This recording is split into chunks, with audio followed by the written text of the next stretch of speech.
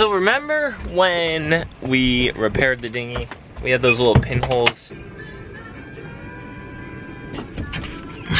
I've never done this before, disclaimer. So it's not a how-to, this is just, we're repairing our dinghy. It was over on, on this side over here.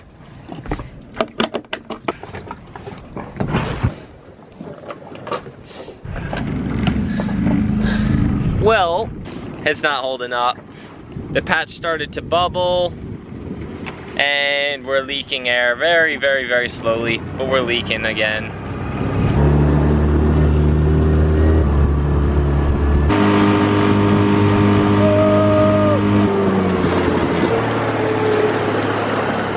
There's a local place here called the Sailor's Place and we don't have a trailer for this dinghy anymore. We sold the trailer with our old dinghy, but they agreed to come meet us at the boat ramp. They're gonna pull our, our boat out and help us repair it. They're gonna repair it. I'm just gonna stand there and ask them questions. And maybe we can get some tips on what they say about the repair job.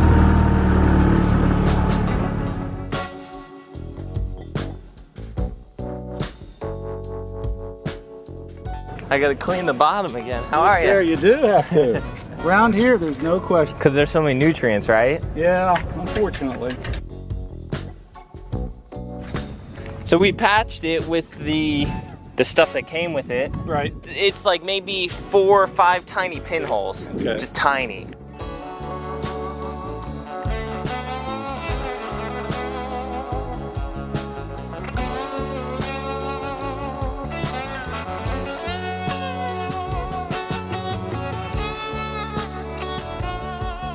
What's going on?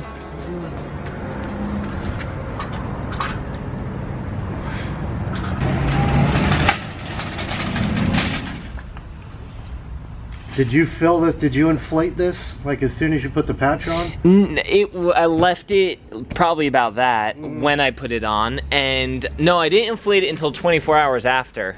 Also, doesn't look like you ground the material down. I did a little, maybe not enough though. It's on there good. Like, say I did everything perfect. What's like the life expectancy of that patch? With really should be even with this one part stuff, huh? We use a two part. I mean, as you can tell, it was it held on. That I mean, I could see where the little hole is.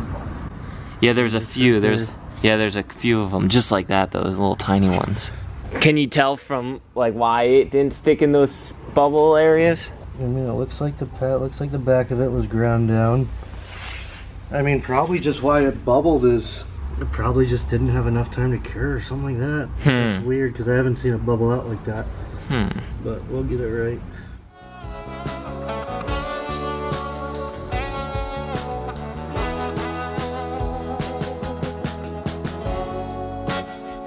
So Sierra kept seeing this on La Vagabonde's dinghy, and she got a little jealous, and she talked Highfield into giving us a little bow cleat that they're gonna help mount on on here.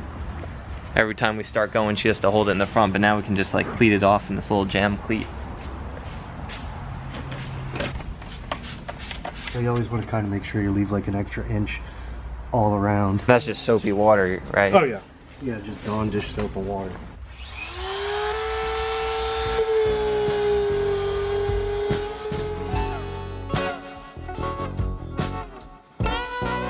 And even the back of the patches.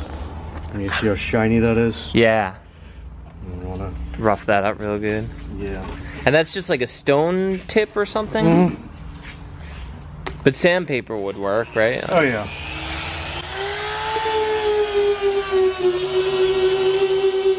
I mean, if you don't sand it down and you leave it to where it's shiny like that, the glue's not going to stick to it. and Uh-huh. That's why most of the time you can just peel that right off. If you sand one, not the other, you can still peel it off. I wonder if that's what I did because I definitely sanded, but I don't know if I went to town that that mm-hmm. much because it was all by hand. Maybe that was my sta- mistake. And then obviously when you're going to put it on, you want to make sure there's no air pressure in it because if you do, then that air is just going to want to push while that glue's trying to cure. It's going to want to bubble out. So you want to do it deflated, no pressure, so that glue once you put the glue on the boat, and once you put the glue on the back of the patch, those two like bind in those holes that you had. Yeah.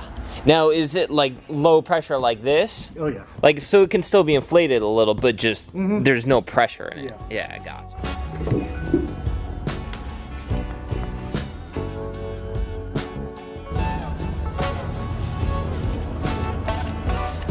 This is the two part stuff, mm-hmm. huh? Have about a quarter of a can because you want to put one coat on the patch, one coat where you're going to put on the boat. Wait about 10 minutes. Put another coat on the patch, another coat on the boat. Wait about five minutes. Put them together. Same thing with this. Do you think like we should we have this on our boat for future repairs, or is the other stuff? I mean, this is the stuff that we always use to do repairs. Uh huh. Um, it wouldn't hurt. I'm using the rest of it, so there was only about a quarter left in here. There's only about a quarter left in there. And then another mistake that a lot of people make is they'll take your regular brush, dip it in, they'll just glob it on. Uh huh. You don't need a lot of glue. Uh huh. So we'll take our scissors and we'll cut down the bristles so you really stretch that glue and pull this. You just want a thin coat.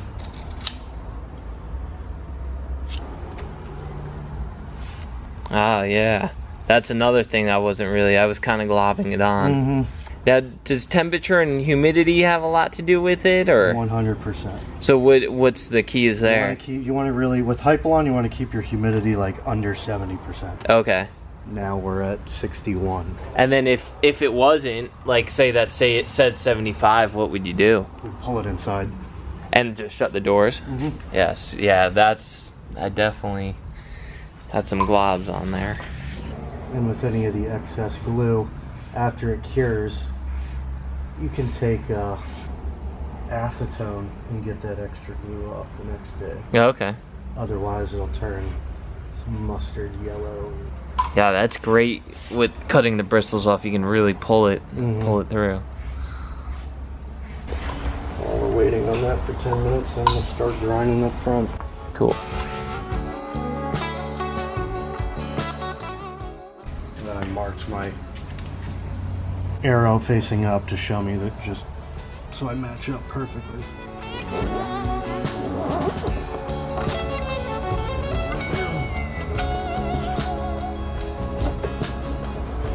I was using like a freaking coconut jar, coconut oil jar. What's that thing called? Just, I think the owner just got this. He's had it for years. Just he just calls it a bone. You see how Yeah, it's already already. Jeez. You should you should be able to not even lift any corners. You just really make sure that you just get that glue to get in those holes where your leaks are. Uh huh. and then just let that cure. And then, I mean, you can even take this tool and save yourself some time, and even just your finger, just rubbing some of the old glue off that you just went over the edges with. Other people use instead of that tool. What do they use? Like a. Um, you can use you can use a roller. I mean, you can even use like one of these dull like paint scrapers, Uh huh. just to Just scrape it out. just to really yeah, just Ah. I mean, pretty much just whatever whatever you have available is not going to cut the material. If you let all that old glue dry on there, then it'll you turn this mustard yellow and it'll look like crap. and you need the acetone Yep. after. But cures. you wait until the everything's cured because if acetone gets underneath the patch, and the patch is just going to peel back up. Gotcha, gotcha. But we wait till tomorrow when it's cured and on there, and take the acetone. Just get the remaining part. I mean, it's gonna. You're not really. The only person that's gonna know you, you have a patch there is you.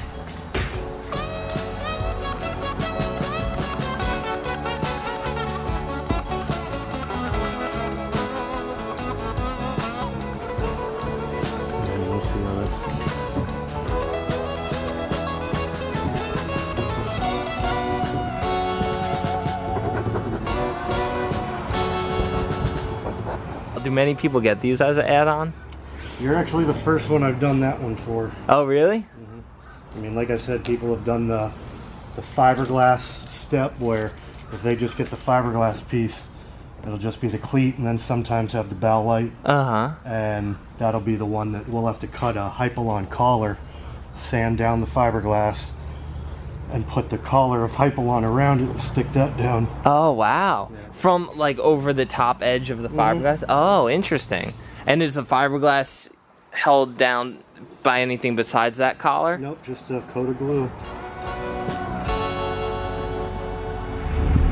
All right, it's been about 24 hours, and I just got the call that our repair and our front cleat are fully cured and ready to go. So we just got here picking it up. All right, looking good. All inflated, good to go.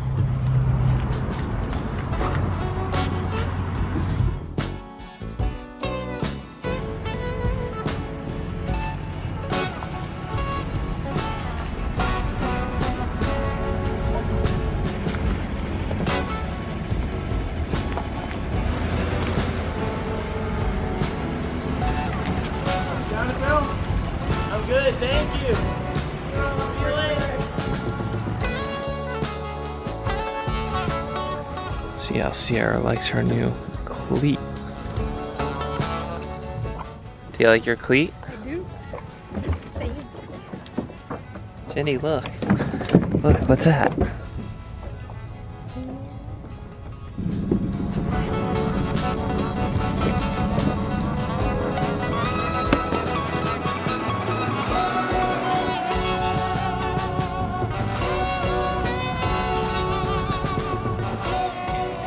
Thanks so much for watching, you guys. I hope you liked that one. A little update in the Tula shop. We just let you guys know that our old Adrenaline sail products went on sale last, what, Thursday? Tuesday, or Thursday, but we're already sold out of a few color options of a few different things. We Um, sold out of this bag first. Woohoo! Way to go, ladies. but there's still other colors in that bag. We still have some of these travel kits left, and Just a few more duffel bags. We're very limited, but we have a few left. five or six of those. So head on over to the Tula shop. The link is right in the description below, and And thank you to everyone who already went over Yes. there and grabbed them. like we said in last week's video, they're not going to be shipped until the 18th, so you'll get them in a week or two. Um, but make sure you send us pictures with your Tula gear, and the best way to do that is to take it in a landscape mode, meaning hold your phone or camera sideways, and send it to tulasendlesssummer at gmail.com, or you can just tag us on Instagram. I thank you guys so much for, you know, supporting because at this point it's looking like Um, all of these profits are going towards a new. new dinghy engine. dinghy so engine. thank you, because we need one and we appreciate it. Thank you guys so much. Thank you for watching, and just make sure you subscribe below, hit that like, that thumbs up button, and leave a comment. We'll see you guys. See you guys later.